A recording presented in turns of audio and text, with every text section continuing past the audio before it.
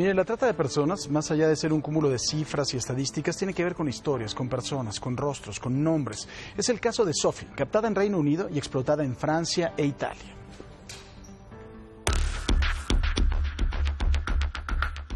Each night was anywhere up to 35 different men. El delito de trata de personas no tiene fronteras ni idioma. Es un cáncer que año con año crece en todo el mundo, de acuerdo a los informes y alertas que ha generado la Oficina de las Naciones Unidas contra la Droga y el Delito. El modo de operar de las organizaciones nacionales e internacionales dedicadas al delito de la trata de personas es similar. El robo de la víctima por medio del engaño, el enamoramiento, las redes sociales, las ofertas de trabajo e incluso el casamiento. Uno de los casos que llamaron la atención es el de Sophie Hayes, quien fue robada de una ciudad del Reino Unido para ser llevada a Francia e Italia. And the year that it happened, I'd been in hospital and had a big operation in my stomach, and he knew that I was really sick and asked me to go on a trip to the south of France. We had a brilliant time. He he told me how much he cared about me. He was he was incredible.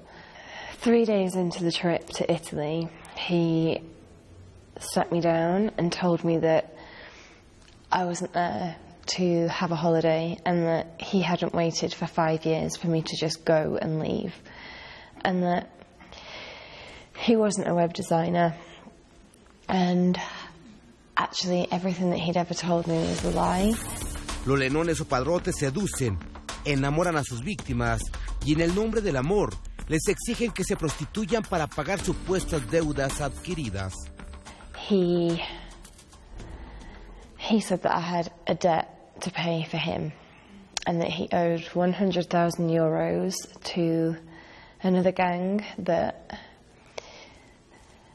a drug deal had gone wrong and I was a sacrifice and that's what you do when you care about someone. He told me that the only way to pay off that debt was for me to work as a prostitute for him. El resistirse o negarse es una ofensa para los delincuentes. When I tried to resist, he put his hands around my throat and slammed my head against the wall and told me how dare I ever disobey him and that his word was law and he was like God.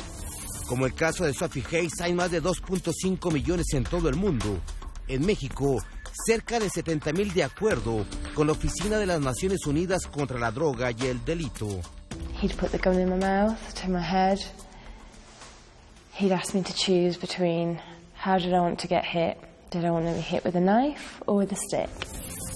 El informe global sobre la trata de personas de 2016 de la Oficina de las Naciones Unidas contra la Droga y el Delito señala que hasta el momento se han detectado 500 rutas que utilizan las organizaciones criminales en todo el mundo para el traslado de víctimas. La mayoría de las víctimas son mujeres y niñas con fines de matrimonio o esclavitud sexual. Hombres y niños son explotados generalmente en trabajos forzados en la industria minera como cargadores, soldados y esclavos. Para imagen, Raúl Flores Martínez. Resulta impresionante, de verdad, Raúl, y las rutas, 500 rutas en todo el mundo. Y además que, bueno, este fue un caso, ¿no? De, de, esta, de esta chava que fue cooptada en Reino Unido y que fue llevada a Francia e Italia. Pero hay casos también de México a Medio Oriente. Hay casos de México también a Asia, ¿no? Así es, Paco. Y es que quería poner este ejemplo porque es a nivel internacional. Sin embargo, son 2.5 millones de personas en todo el mundo que sufren este tipo de delito.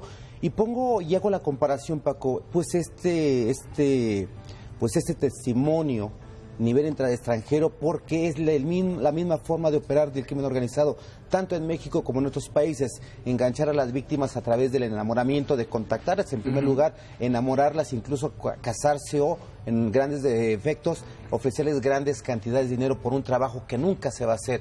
Y ese es uno de los casos de 2.5 millones.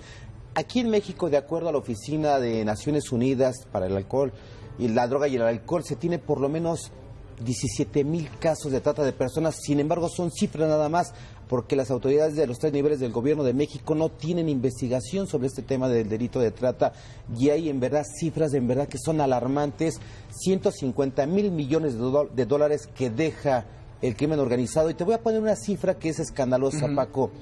5 mil dólares cuesta dentro del mundo de la pederastia y de la trata de personas la virginidad de una niña de 7 a 9 años de edad. Es por eso que muchos, muchos o muchas de las organizaciones no saben de cifras, autoridades no saben de cifras porque diariamente se roban cuatro mujeres por día aquí en México. Qué asco. Gracias, Raúl. Te agradezco mucho. Felicidades por tu trabajo y vamos a las redes sociales con Marlene Starr.